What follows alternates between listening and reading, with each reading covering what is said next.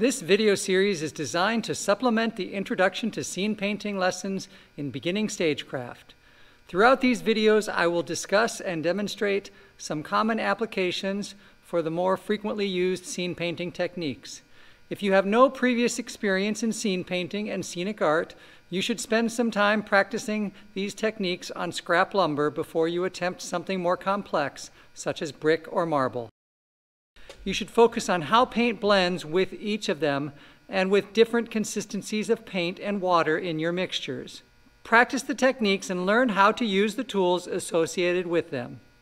To begin, there are a variety of ways that scene painting can be applied.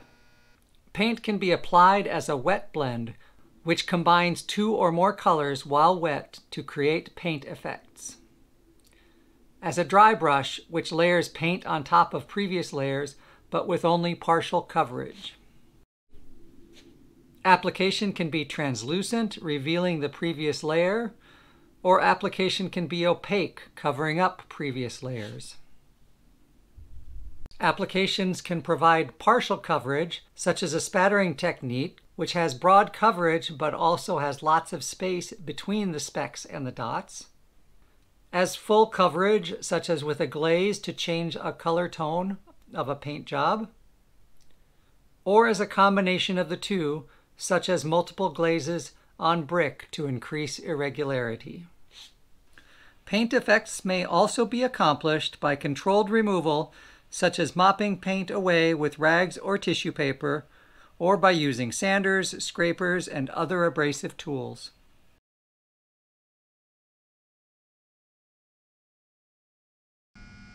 So the first thing we have to think about when we start mixing up our scene paint and getting ready to paint is we have to think about the paint consistency. The paint consistency is going to come out of the can thicker than we want it to be. And it's uh, thicker for a couple of reasons. It's thicker to use in a house painting project, painting the walls of your house, painting the outside of your house. It goes on in a smooth single coat and it dries quickly and it covers well. And in theater, we want to have more open time where we have time to work with it, have time to get colors to blend together and mix and do different things. So in order to do that, we usually have to have it a little bit more watery than what comes out of the can. The uh, different consistencies I kind of liken to various milk products or various dairy products. Comes out of the can and somewhere between uh, a sour cream and a Mexican crema.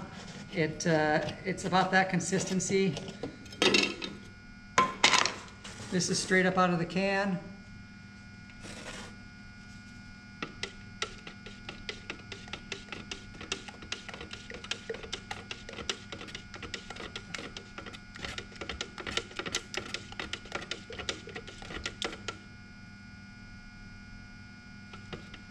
It's a little bit thick. When it's thick like this, it's going to not have a lot of open time. It's going to dry real quick.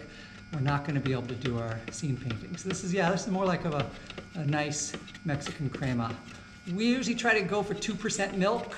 Uh, if you can imagine that, that's where we want to go. And the ratio of paint to water is usually about two to one. So if you have two parts of paint, you use one part of water and that gets you normally to about a 2% milk consistency. I'm mixing up the paint really well. This is just like baking. You've got to get it mixed up really well. You've got to get everything scraped up off of the bottom of the bowl. You've got to get all those components integrated or it will not bake properly. Same thing here. If you separate the pigment from the binder and from all the other elements, it's just not going to do what you want it to do and stir it regularly. Paint has four primary components. Pigment, vehicle, binder, and filler. Pigment provides the color or hue of the paint. Value is the quality of tint or shade. Tint refers to adding white to a color. Tone refers to adding gray to a color. Shade refers to adding black to a color. Saturation or chroma refers to the brilliance or intensity of a color. Vehicle refers to the liquid or solvent that the other elements are suspended within.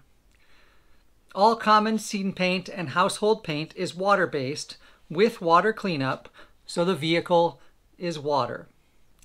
Many other vehicles include lacquer, alcohol, paint thinner, ketones, esters, xylenes, or alkyd oils such as tung oil or linseed oil. Binder refers to the glue or glue-like components that bind or glue all the elements together after the vehicle evaporates. Water-based paints are often called latex-based and will contain acrylic or vinyl resin as the binders. They do not actually contain latex, but can produce a latex or rubber-like finished coating.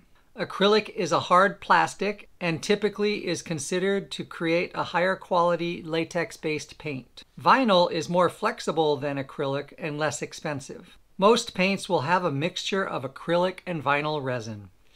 Casein uses milk as a binder base. These are often called milk paints. Epoxy paints use a two or three part chemical reaction to bind the elements together. Other common binders include polyurethane, polyester, alkyd enamels, silicates, and many others. Fillers or additives affect the application and properties of the paints. The most common ones affect opacity, such as the addition of titanium white which serves to tint the pigment at the same time as increasing opacity. Thickening agents provide additional viscosity to aid in smoother application. Surfactants or soaps are added for paint stability. They can help keep pigments equally dispersed. Defoamers control bubbles when paint is agitated or during the manufacturing process. Some additives can provide increased fire resistance. Biocides are added to keep bacteria from growing and discourage mildew growth.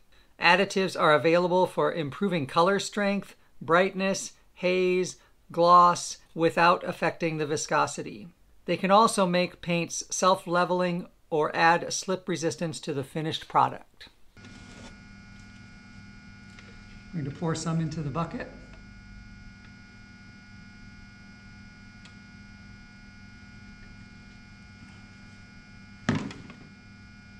I've got about, you can see in the shadow there, I've got about, what, uh, almost an inch of paint in there.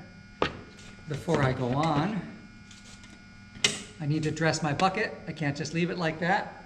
It's gonna dry up. I get a small paintbrush. I clean this out immediately before doing anything else. Clean out my, clean the paint off of my stir stick.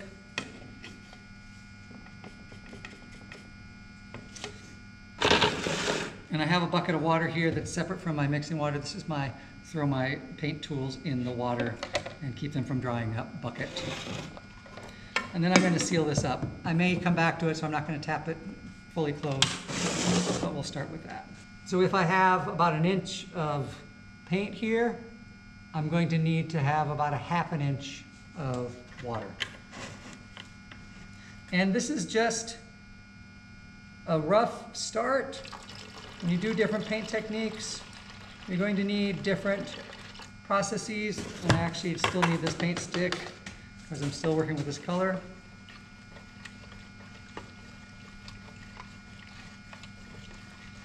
Again, I need to mix it up really well. This is actually a good consistency. You're going to start with this and then different techniques are going to require different uh, consistencies. And there are paint techniques that can use the thicker paint as well. But a good general starting point is this. If it gets too watery, it's going to go translucent. And that starts to move into a, the land of a glaze. And we'll talk about those later, but this is our good standard paint consistency. Someone has labeled this mold yellow. Mold yellow. I don't know what show it's from. I don't know if that meant the application but we're going to use it. Nice and separated here. All that stuff on top is the is the parts of the paint that need to be mixed in. It will not work until we get the pigment mixed in with all of the binders and the vehicles and the various components.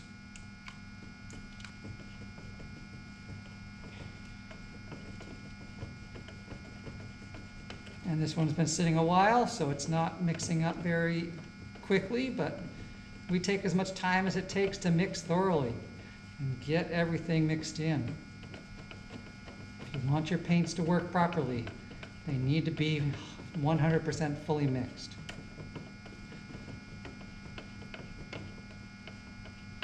I probably said in another video, I don't like to use the cordless drill attachments. They work fast, they work well, but I don't like the cleanup time involved in them. So I like to do things by hand. I like to shorten my cleanup time. And you can't really, with those tools, get into the corners of the bucket very well. If you're using some fresh paint and you and just need a quick mix, that's okay. If it's been sitting on the shelf, you're really going to need to get uh, in with there with your hand and get the separated elements dug up off the bottom. And as we can see, this bucket was not cleaned out very well by the previous users.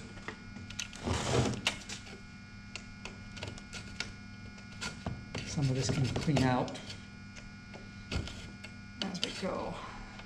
I don't want to get this gunk into the paint.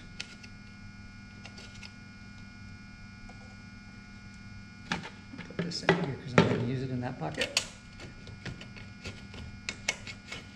Just don't scrape with a screwdriver towards your hand. You notice I'm pulling away from my hand at all times. I don't want to jam this into my palm. That's going to hurt.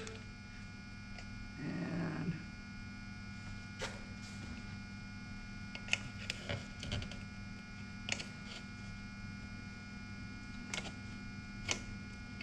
there.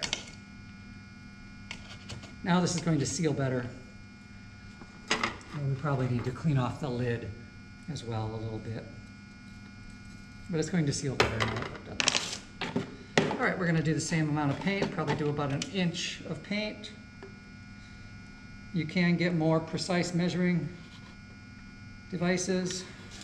I'm cleaning all this up out of the rim of the bucket paint can so it can seal nice and tightly and store and last longer. Another, uh, looks like it's about an inch or a little more than an inch.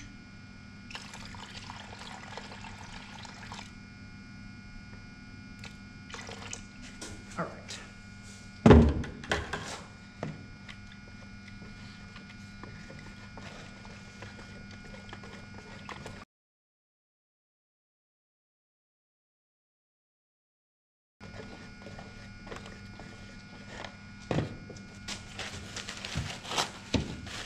Made a mess on the table. Cleaning up my messes right away. I don't want that big glob of paint drying on the table. But then I won't have a smooth table for other activities.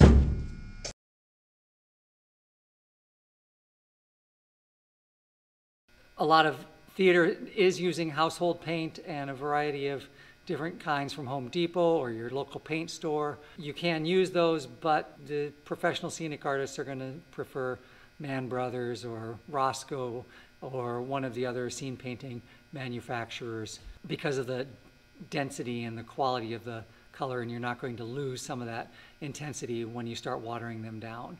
So they have a lot more advantages, but they are a little more expensive.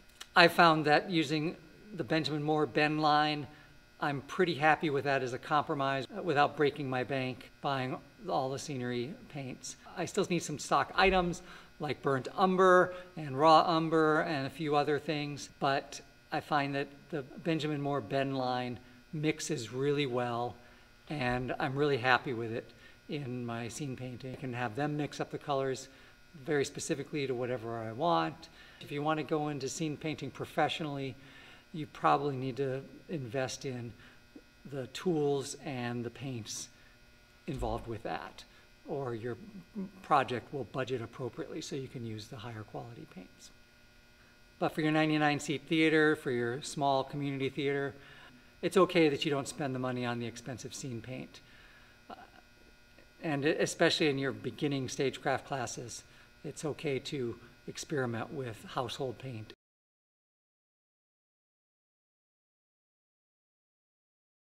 Common paint tools include brushes of various sizes. There are too many sizes and shapes and styles of brushes to enumerate them here, but you will encounter a variety of widths and sizes and thicknesses, liners and fitches and other styles, and experiment with them as time and space allows. Paint rollers also come in various sizes. The smaller 6-inch and 4-inch rollers provide greater control in many small scenic applications and also reduce cleanup time. Various specialty texture rollers are also available.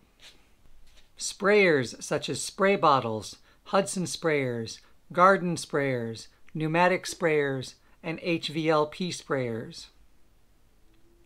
Feather dusters whisk brooms. Sponges. Natural sea sponges are most common for scene painting, but household sponges can also be used to make stamps and other patterns. Paint stamping tools and rollers. Wood graining tools. Feathers rags, wood blocks, mops. With imagination and creativity, most anything can become a paint tool.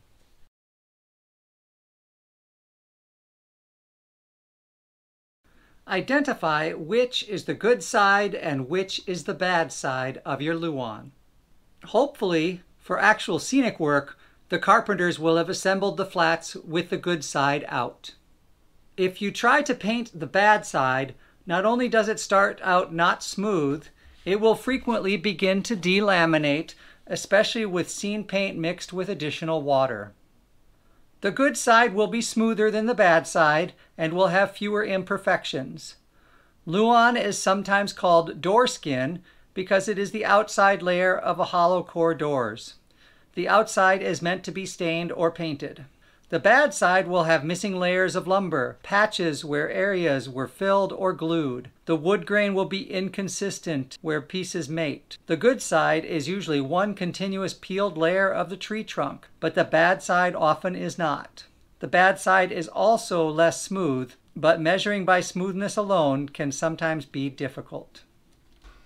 We're not going to discuss in our introductory scene painting about color mixing. I'm going to assume that you will discuss that in your class or that you will learn it in your more advanced scene painting. But in the basic level, you don't need to concentrate so much on the methodology of the color mixing.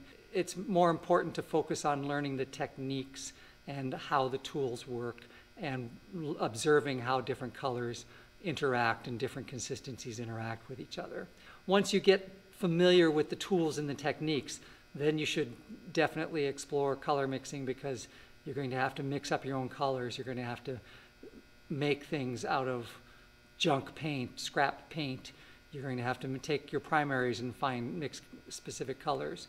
You won't always be able to go get a specific color from the paint store, especially if you're using high quality scenic paints. There's the scenic paints come in a couple dozen colors and that's it because they assume that the scenic artist knows how to mix those colors to get all the other colors they want.